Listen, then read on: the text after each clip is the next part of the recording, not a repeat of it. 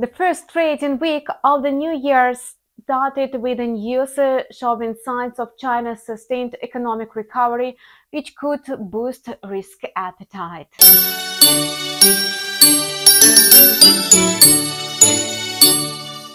China's Manufacturing Purchasing Managers Index unexpectedly rose to 50.8 points. The reading beat analysts' forecast and came in at its highest point since August signaling a potential rebound in the global economy and increased energy demand from China, the world's largest oil importer.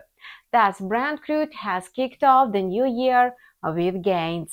The benchmark has already climbed to $79 per barrel and is likely to extend its rally to the $80 mark.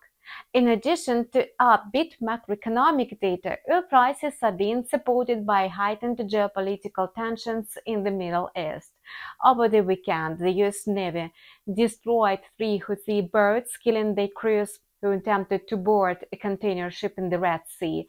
The Iranian news agency, which um, has close ties to the country's security agencies, also reported on Monday that Iran uh, deployed a destroyer to the Red Sea and placed it within striking distance of Israel. However, there is something that could limit the asset's bullish run. Investors are concerned about rising global supply, especially from non-OPEC producers. For instance, U.S. crude production jumped to a record high of 13.3 million barrels per day in August. Guyana and Brazil also produced record volumes.